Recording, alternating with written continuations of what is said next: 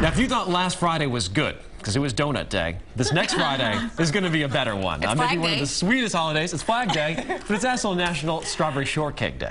You know what today is? It's National Strawberry Shortcake Day. Say what? Yup. Yes.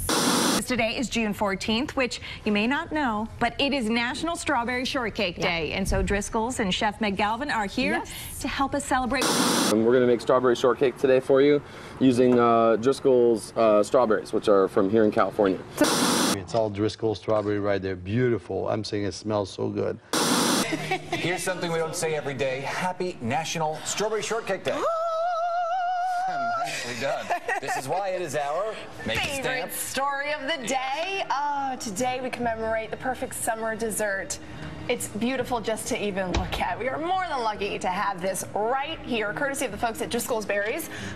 Good morning to you. This Well, is thank you for inviting this us. This is quite the presentation you have here. Well, if you're going to do anything, do it right. We're great with displays. So, Yes. A, you got to have a great display. B, you got a great product. And we brought some great Driscoll strawberries Mm-hmm. I today love with us. Driscoll strawberries. If they aren't at the store where I go, You know, I go I saw else. these four flats yesterday, and I just had to bring them. Mm-hmm. And uh, so you guys gonna all have strawberries today. My bakery, we've already made 35,000 of these by hand in June. 'Cause This is our, it's, it's Oh, strawberry this is it. shortcake season. And you by the way, look at these strawberries. They're beautiful. I mean, they are incredible They looking. are, and Driscoll strawberries has been the berry in America's shortcake for over 100 years, so they're definitely the ones that you want to pick when you go to the grocery store. No, let's talk about some strawberry shortcake, why don't we? Because again, it is looking delicious, no question about it. I had to get my hands on this. I love to work with Driscoll and Driscoll product because it's one of the best berries that you can find. They're always ripe, they're always beautiful. I don't want to take any chance. Give me the best, and I know I'm going to have a good result.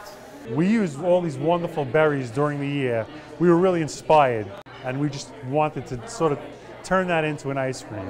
And this is our take on it. I don't know, this makes me happy. This brings me back. Um, I don't know, I guess it's the when I was a kid. It does.